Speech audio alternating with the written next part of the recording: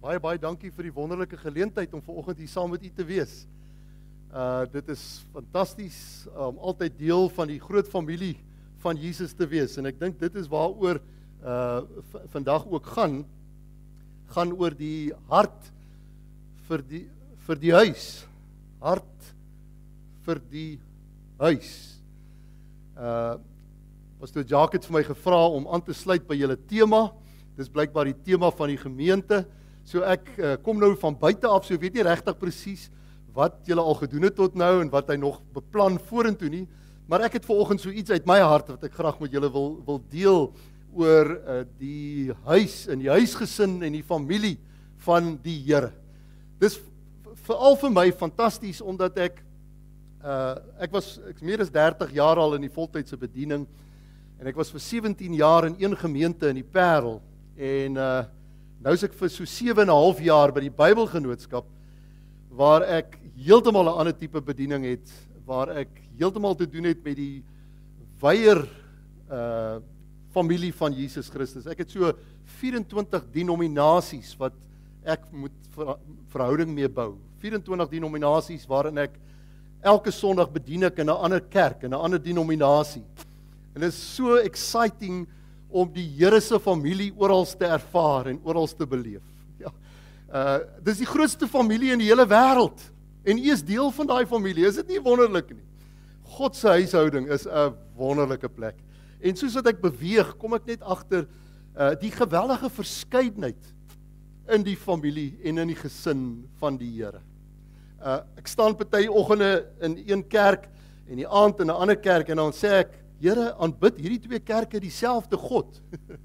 jy weet die liturgie verskil so, die worship verskil, die manier hoe ouens dinge doen.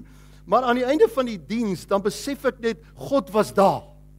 Sy teenwoordigheid, jy weet ek het ek ek was nou eenslag by 'n by 'n kerk wat vir my heel vreemd was.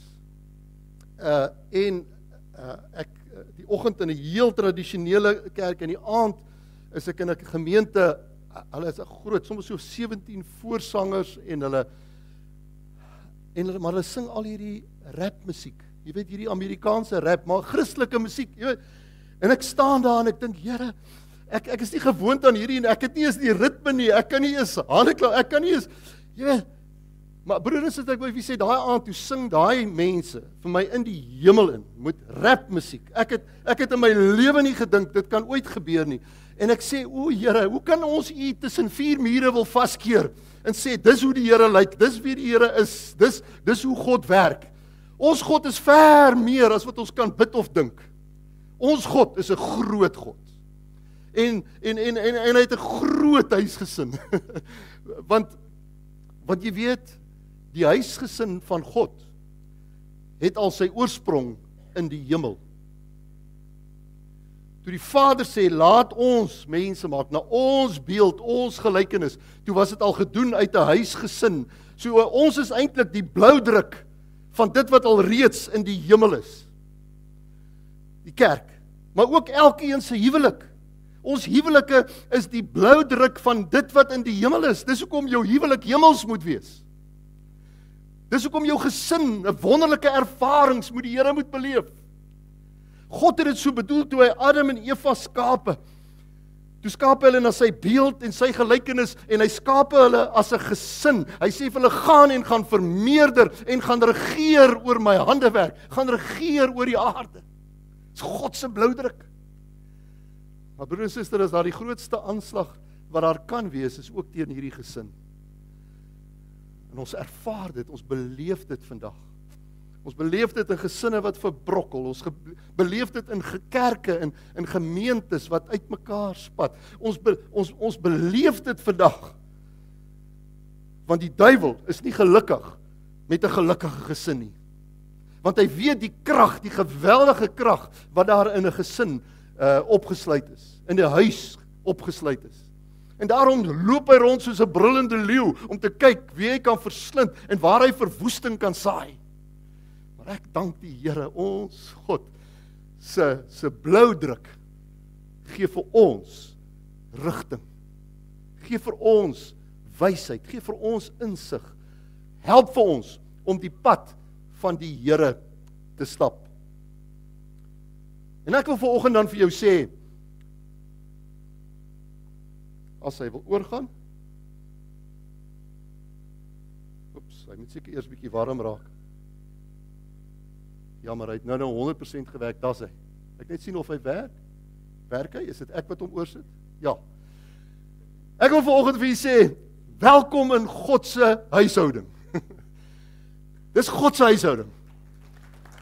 Welkom om so ietsie van die hemel op aarde te beleef en te ervaar.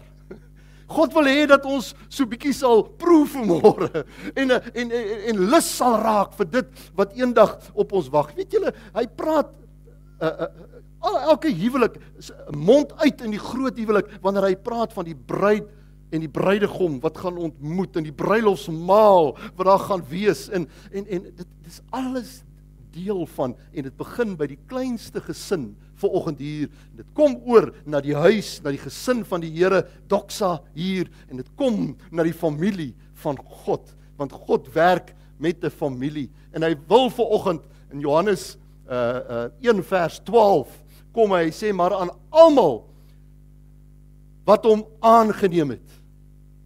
Die wat in hom glo, het hy die reg, die ou vertaling sê die mag gegee om kinders van God te word. Het hy die mag? Jo, ek ek hoop jy daai gesag. Ek hoop jy daai autoriteit vanmôre om te sê ek is kind van God.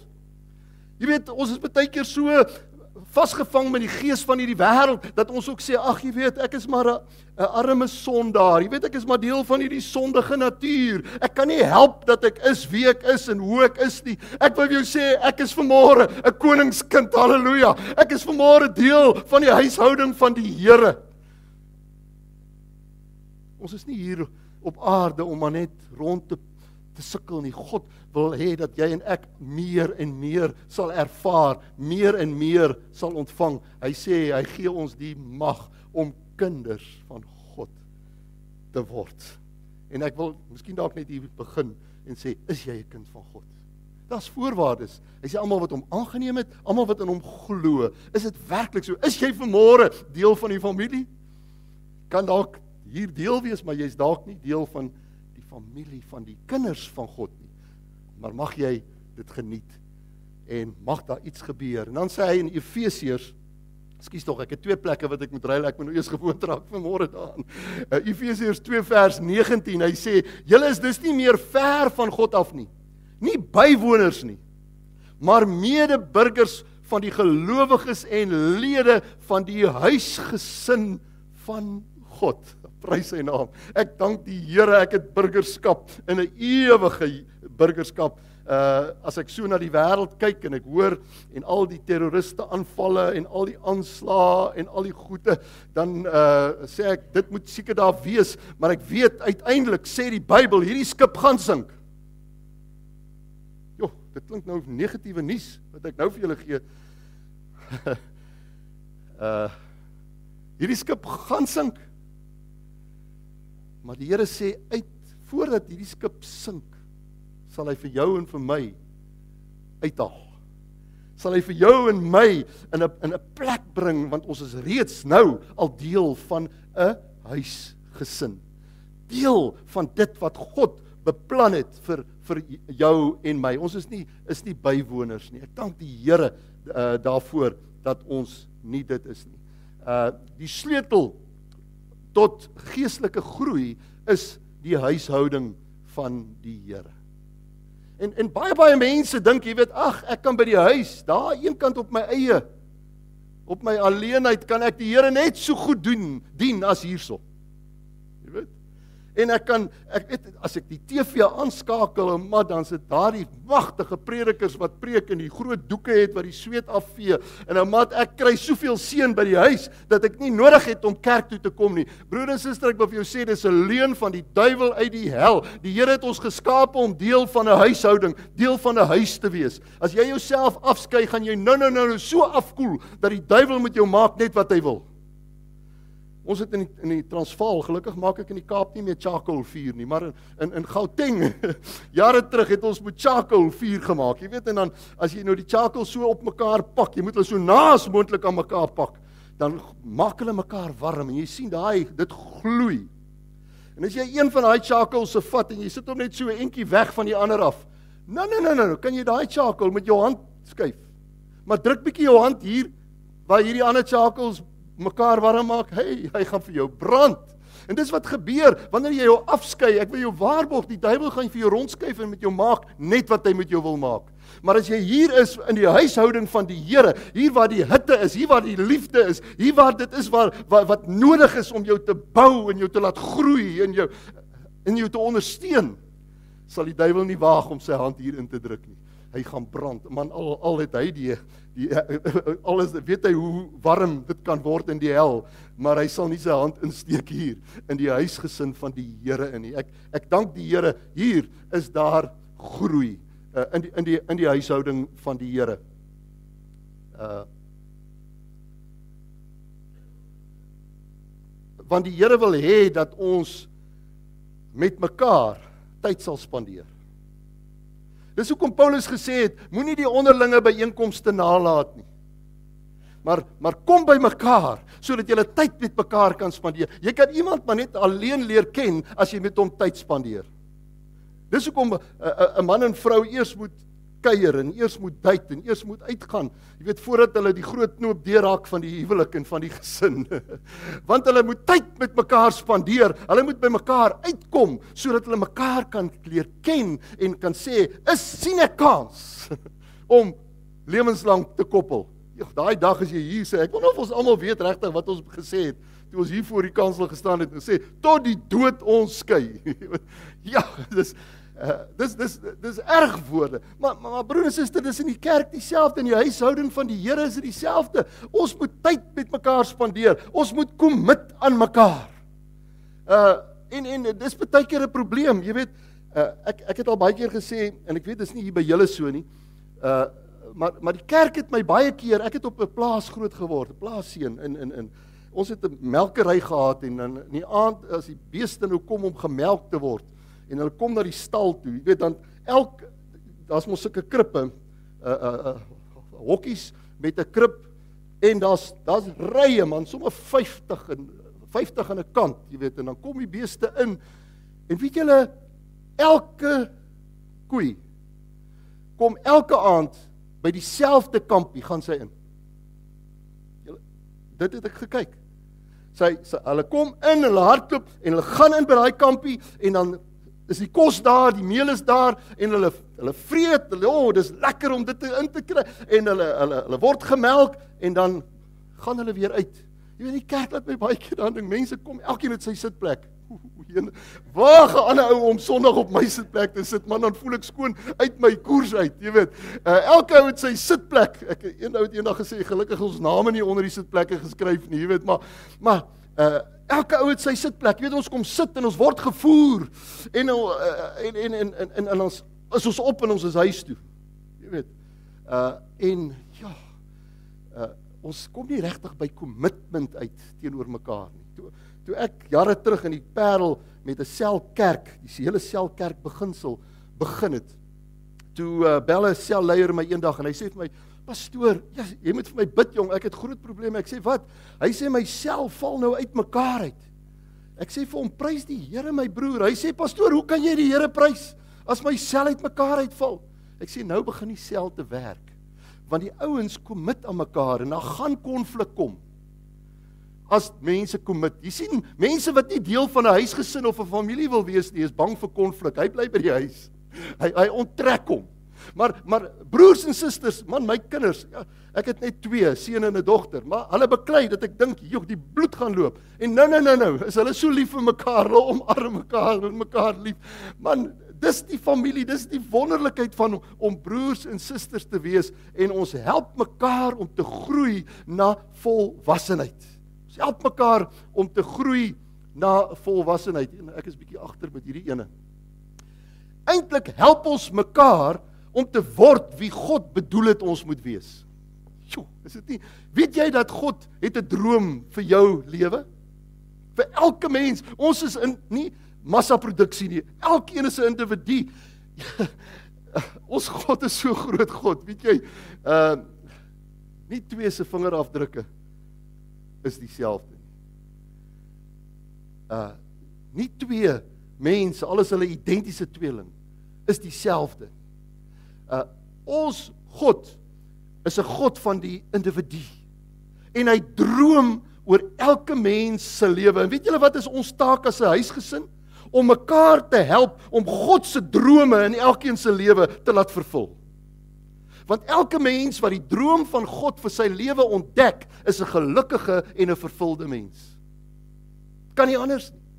Jy God se plan, jy weet daar's daar's twee roepings. Jy het 'n jy het 'n 'n 'n 'n skepingsdoel as mens Jy's geskape op aarde om sekere funksies en sekere dinge te vervul. Jy het 'n skepingsdoel, maar jy het ook 'n roepingsdoel waarvoor God jou geroep het, wie jy werklik is in die huishouding wat eendag en nou alreeds ook die blou druk is. Is jy 'n uh, deel daarvan en dit is vir elkeen uh om om dit te wees. En en as ons nou kyk na Joël 2 vers 28 Dan sê hy in die laaste dae sal my seuns en dogters sal profeteer. My ou mense sal drome droom en die jongelinge sal gesigte sien. Ja. Dis die laaste dae. En dis die huishouding. Hy praat hier van weet die grootste krisis in kerke en gemeentes vandag is dat die ouer mense en die jong mense nie kan gel nie, nie kan by mekaar uitkom nie. Jong mense het hulle eie idees, jy weet, en die ouer mense het hulle eie tradisies. En en en gedurig is daar in hierdie huishouding baie keer konflik en en as gevolg daarvan kry jy dat die jeug doen hulle eie ding, die ou mense, ouer mense doen hulle eie ding en dit is amper asof daar in die gesin van die Here verdeling is. En Joel sê nee nee nee, dit moenie so wees nie. Daar word geprofeteer dat daar sekere iets met hierdie huishouding moet gebeur. Nee. Die ou mense moet droom of laat ek so stel, die jongelinge, die jong jonges het mos krag. Hulle sien mos uit na na iets. Hulle het nuwe visioene. Hulle hulle het iets wat 'n nuwe doelwitte wat hulle daar stel. Ons ouer mense is ons is nie meer lus vir nuwigheid en nuwe dinge. Maar wie ons ou mense moet die visies van die jong mense in vervulling begin droom. Daai drome gaan nie oor jou drome en jou mislukkings en jou goed deur die jare nie, maar hierdie drome beteken jy droom die jong mense se se se visies in werking in die gemeente. En ou mense en jong mense en almal saam in hierdie gesin word 'n een eenheid voor die Here want daar's oor hierdie huis geprofeteer. Daar's oor hierdie huis iets gesê en God wil hê dat dit moet gebeur. Die Here wil hê dit moet gebeur. So kom ons werk saam. Kom ons help mekaar, kinders, ouers, almal man. Ons is 'n span vir die Here. Broederliefde is die sukses van die huishouding. Hy het weer nie, skus, ek het weer hier vergeet. Broederliefde is die sukses van die huishouding. Dit kom 230 keer word broederliefde genoem in die Nuwe Testament. 230 keer. Philadelphia Dis mos die gemeente hier van Openbaring. Philadelphia, Philos is broeder liefde. Nee. Broeder Philos uh liefde, broederliefde. Broederliefde beteken letterlik om uit dieselfde baarmoeder te kom. Tjoe, is dit nie mooi nie? Dieselfde DNA. Broer en suster, ek en jy is deur dieselfde bloed vrygekoop. Dieselfde bloed vloei in ons geestelike are, die bloed wat aan die kruis gestort is deur Jesus Christus, die seun van God, ons oudste broer. Halleluja, ek loof die Here. Hy het ons 'n gesin gemaak. Hy het ons familie van die Here gemaak. Dit's wonderlik om deur wedergeboorte deel te word van die huishouding. Geen wonder Nikodemus wat so slim man was kon dit nie verstaan nie. Wat is wedergeboorte? Hoekom moet ons wedergebore word? En die Here sê sonder wedergeboorte sal niemand God sien nie. Sonder wedergeboorte sal ons die koninkryk van God nie ingaan nie. Mag jy en ek deel wees van die wedergeboorte. Ek hoop dat wedergeboorte broer en suster, dit help nie om te sê ek is 'n Christen nie. Dit help nie om te sê ek gaan kerk toe nie. Daar moet 'n 'n ervaring wees. Daar die bloed van die Jesus Christus geestelik moet vloei deur jou are. Hy moet deel wees van jou lewe. Ek gaan eendag vir die Here dit moet vra. Here, hoe is dit dat 'n groot God, almagtige God wat wat die hele heelal in sy hand vashou, sê die woord Hy's so groot dat hy die die span van die sterre met sy hand meet. Die afstand van die sterre meet hy met die span van sy hand. En daai selfde God, daai groot almagtige God wat alles beheer, sê man ek kies 'n klein stofdeeltjie van hierdie aarde teens lou om my tempel te maak. Ek wil graag binne in hom woon. Ek wil graag my DNA binne in hom sit. Ek wil graag my bloed vir hom gee sodat hy my familie, my kind, my huisgesin, my huishouding kan wees. Wil jy nie vanmôre dankie vir Here daarvoor sê? Ek verstaan dit nie. Ek sal eendag vir hom moet vra. Maar ek verstaan dit nie dat die Gees wat binne in my woon, die versigtings van my hart by die Vader bekend kan maak en dit wat die Vader vir my wil openbaar, bekend kan maak en hy kom lei my in die volle waarheid. Hy leer my, hy gee my. Dis die familie van die Here. En broederliefde is so belangrik. Ons is bloedbroers in die Here. Uh die groot gebod in Markus 12 vers 30 31 Hy sê jy moet die Here jou God lief hê uit jou hele hart, jou hele siel, jou hele verstand en jou hele krag. Dis totale mens. Jou hart, jou gees, dit wat met God kontak maak, dit wat kielie baie keer en jy weet nie waar om te krap nie, né? Nee, dis mos dis mos waar jou gees is. Dis nie hierdie hart wat pomp nie. Broeders, is dit die hart is die binneste wese van jou lewe. Daar waar waar die Heilige Gees kielie, as ek dit so kan sê. O, ek voel baie keer die heerlikheid van die Here dan jy, jy, jy, jy dit voel net fantasties. Jy wil oopbars van die heerlikheid van die Here. En dan sê hy jou hele siel, jou siel, jou denke, jou verstand en jou hele krag jou liggaam. Gees, siel en liggaam moet totaal aan God oorgegee wees en moet totaal vir God lief hê. Ek dank die Here hy het vir ons kom demonstreer wat liefde is. Ons as mens sou nie regtig geweet het in ons sondige natuur wat liefde is nie, maar hy kom sy agape liefde aan jou en my demonstreer en hy het ons eerste lief gehad, sê die Bybel. Voordat jy hom nog lief gehad het, het hy vir jou en my al lief gehad. Het hy vir jou en my al uitgekies. En dan sê hy hy sê en hieraan gelyk. Ja. Hieraan gelyk. Ek ek weet nie regtig hoe hoe trek ons hierdie stem want want jy moet God met alles lief hê. Elke greintjie van jou mens wees, jou hele totaal gees, siel en liggaam, moet jy God lief hê. En dan sê hy hieraan gelyk. Moet jy jou broers en susters in die huishouding, moet jy jou naaste, moet jy lief hê soos jouself. So jy moet nie net hulle lief hê nie, maar jy moet ook jouself lief hê. Daar's baie baie mense wat sterf eendag aan die einde van hulle lewe kom sonder dat hulle ooit hulle self lief gehad het. Hulle het hulle self nooit ontdek nie, hulle het nooit hulle God se droom oor hulle lewe ontdek nie, hulle het nooit hulle roepingsdoel ontdek nie. Hulle sterf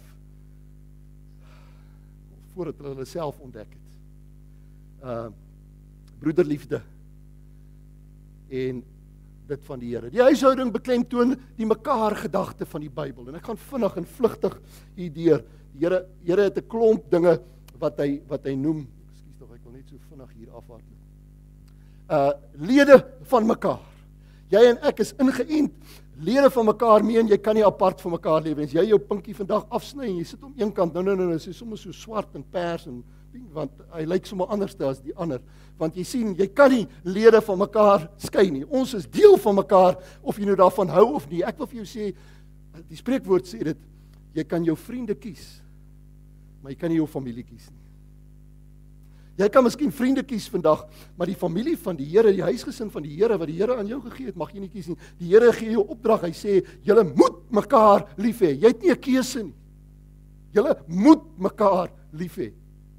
Mag dit so wees. Lede van van mekaar. Dan sê hy wees hartlik teenoor mekaar.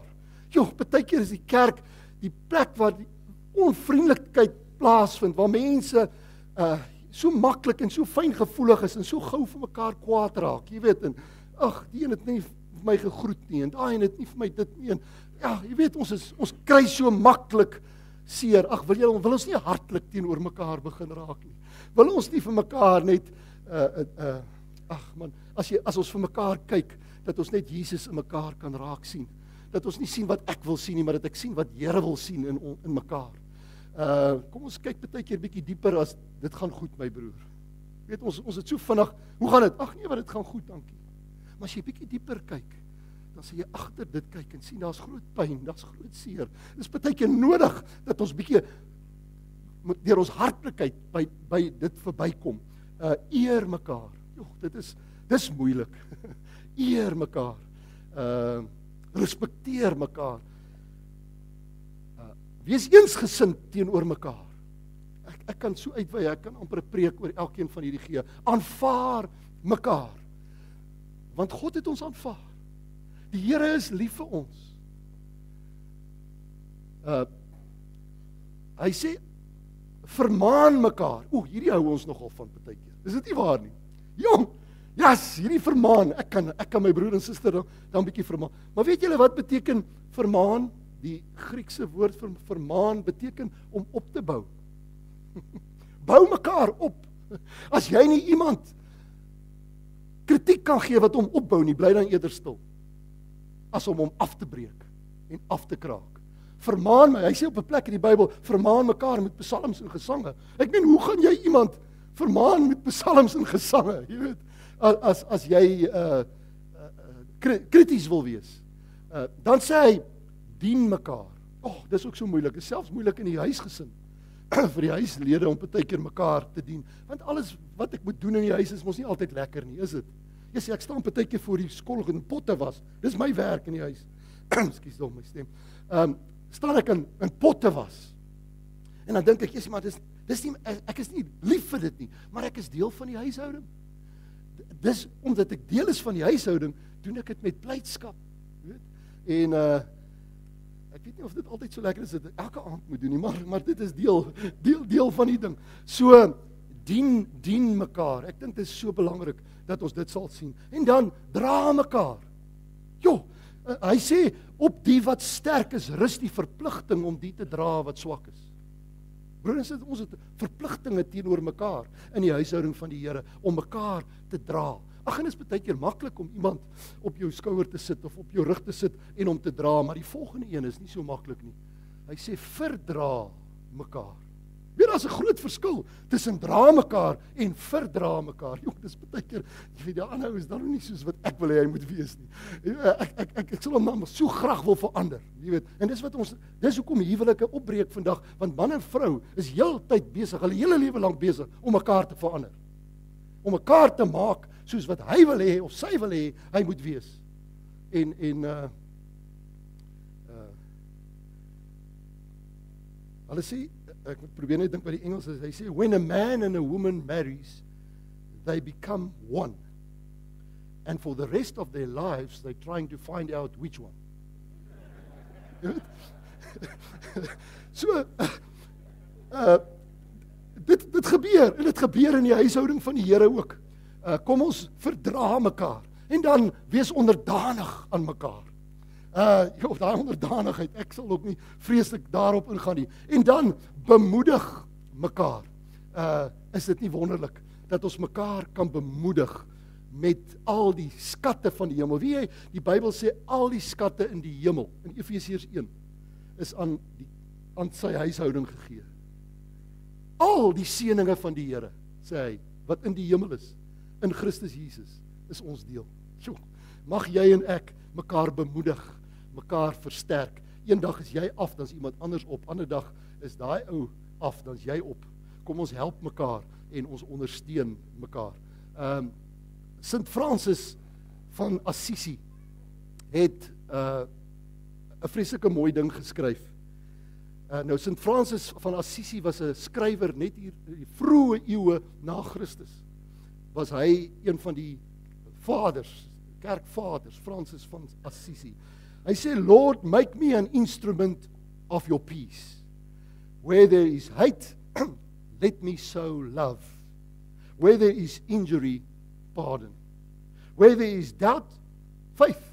Where there is despair, hope. Where there is darkness, light. And where there is sadness, joy. O divine master, grant that I may not so much seek to be consoled as to console, to be understood as to understand, to be loved as to love. For it, it is in giving that we receive, it is in pardon that we are pardoned, it is in dying that we are born to eternal life. Wat 'n uitdaging vir die kerk van die Here, vir die gemeente van die Here. En Jesus bid vir hierdie gesin. Bid vir hierdie familie. Bid vir hierdie kerk. Ek is so dankbaar ons het iemand wat vir ons bid. Ek wonder waar sou ons gewees het as hy nie vir ons gebid het nie. In die hoë priesterlike gebed in Johannes 17 bid hy so mooi. Hy sê ek bid dat almal een mag wees. Net soos u Vader in my is en ek in u dat hulle ook in ons mag wees sodat die wêreld kan glo dat U my gestuur het. Jo. Is dit nie wonderlik nie? Dis daai wat ek nou nog van gepraat het. Hy in ons, ons in hom. Man, dis die blou druk van die hemel wat jy en ek nou al reeds hier in hierdie gemeente in Doxa gemeente kan ervaar en kan beleef. Kom ons maak dit 'n werklikheid vir die Here. Die huishouding het 'n Vader. uh ek is so dankbaar en so opgewonde daaroor dat hy dat die huishouding 'n vader het. Kyk wat sê hy in Matteus 7 vers 11. Hy sê as julle wat sleg is, dan weet om julle kinders goeie dinge te gee. Hoeveel te meer sal julle Vader wat in die hemel is goeie gawes aan gee aan die wat dit van hom vra. Sjoe. Is dit nie wonderlik nie? Hoeveel te meer? Ek dink elkeen van ons weet as ouer wil ek net die beste vir my kind hê. Wil ek net uh, uh, alles hê wat wat vir hom tot voordeel is. Uh mag jy en ek ook die beste van die Vader ontvang. Hy sê ek wil vir julle gee. En dan is dit vir my so wonderlik. Ek sluit af met hierdie uh, skyfie. Ons Vader gee om vir elke lid van die huishouding. Oh, ons Vader gee om vir elke lid van die huishouding. Hy is haastig om goed te doen aan jou en my. Het jy dit geweet? Hy sê hy staan in in iewers in die Ou Testament sê hy hy staan met ongeduld en wag om jou gebede te verhoor. Met ongeduld en wag. Hy's hy's hy's haastig. Jy, jy, jy sal onthou met met die met die verlore seun toe daai seun weg was en hy toe toe sy haastig om by sy seun uit te kom. Hoe hy geweet het sy seun gaan aankom, weet ek nie. Hy moes net heeltyd daai pad dopgehou het. Maar die Bybel sê hy het gehardloop na sy seun toe. Ek wil vir jou sê, ons Vader van ons huishouding is vanmôre haastig om by jou uit te kom en om by die gemeente uit te kom. Hy's haastig om aan aan jou en my is hy haastig om goed te doen. En en en mag jy en ek in sy omhelsing lewe. Mag ons in sy omarming lewe. Hy wil jou so 'n bietjie toefou met sy liefde. Hy wil jou so 'n bietjie vasdruk. Hy soos daai warmte in daai chakel. Want hy het dit jy sal ervaar die liefde van God, die nabyheid, die teenwoordigheid van die Here. Hy hy hy wil dit so graag wil hy wil hy hê. Uh hy hardloop na sy seun toe en hy soen hom. Die diepste teken of van van van liefde, van uiting, van emosie is is hy hy soen hom.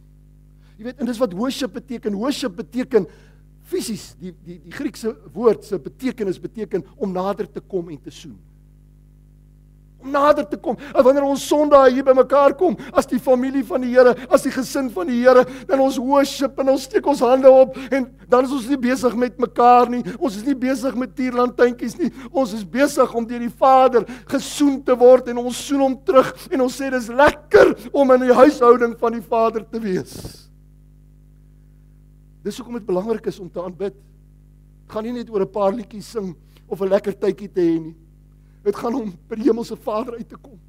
Om in sy teen, om in sy omarming te kom, om in sy omhelsing te kom. Hy soen ons. En dan gee hy sy engele bevel aangaande ons. is dit nie wonderlik in die Bybel sê hy gee sy engele bevel aangaande Daar's daar's diensknegte wat hy ook het wat vir jou en my wil bedien en wat vir ons wil gee. En hierdie Vader van van die gelykenis van die verlore seun het vir sy diensknegte gesê: "Maak gou, maak gou." Die seun van my was weg, hy was verlore, maar hy het teruggekom en hy lewe. En weet julle hy uh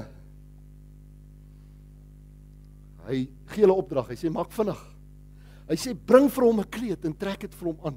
En ek dank die Here in hierdie Vader se huis in ons hemelse Vader se huis kom hy en hy wil vir ons net die beste aantrek. Hy sê man, ek wil jou was witter as die sneeu. Ek wil al die ou veiligheid van die sonde wil ek afwas. Ek wil vir jou wit kleed aantrek wat witter is as die sneeu. Ek wil hê jy moet mooi lyk, jy moet skoon wees, jy moet pragtig wees, jy moet rein wees, jy moet heilig wees. En dan gaan hy verder en hy sê ek wil ook vir jou vir hom gesag gee. Hy sê bring die ring Ek wil vir hom 'n ring aan sy vinger sit.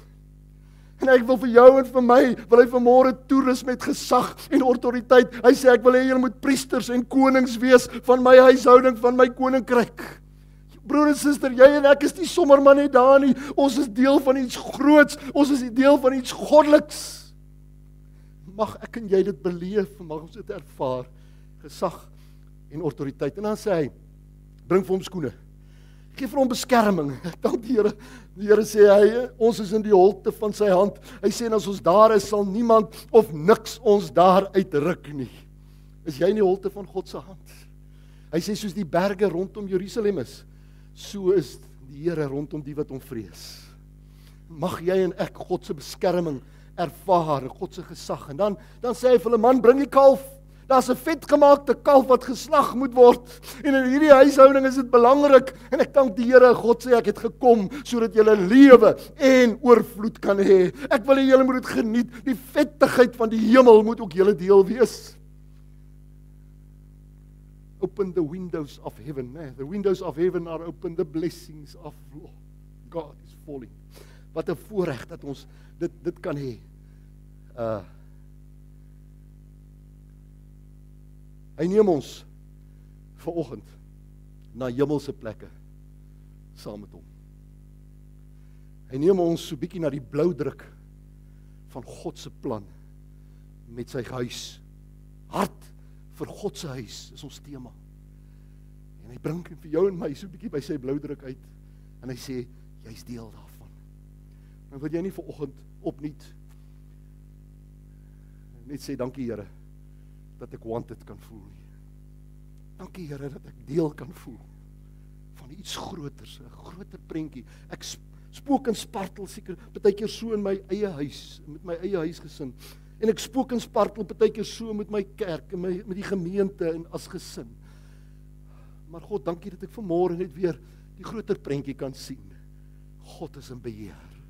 God is ons Vader. Hy wil vir jou en my net die beste hê as jy vir 'n paar oomblikke net wil opstaan en net sê Here, dankie. Dankie dat ek u kind kan wees. Dankie dat ek u DNA in my kan hê. Dankie dat ek deel van die familie kan wees. Dankie Here dat ek ook gaan poog om my allerbeste te doen vir die allerhoogste in hierdie gedeelte, in hierdie plek wat U my gesit het. Here, baie baie dankie dat ons ver oggend na u woord kon luister. Baie baie dankie dat ons vanmôre net weer so bietjie kon stil staan en net kon hoor wat is u hartklop en u hartklop vir elkeen van ons. En ek sê vir u dankie. Dankie dat u seëninge, want die Bybel sê u seëninge maak skatryk. dankie dat ons 'n ryk huis gesin is. Skatryk, Here. Op alle gebiede. U sê die beeste op 'n duisend berge behoort aan u. Here baie baie dankie. Dankie dat ons so Vader kan hê en dat ons baie keer ook bietjie kan vra vir brandname klere en uh smart skoene wat brandname is. Ons God wil ons bederf. Dankie Here vir elkeen wat U bederf in Jesus naam. Amen. Amen. Baie dankie. Kan jy sit plek neem?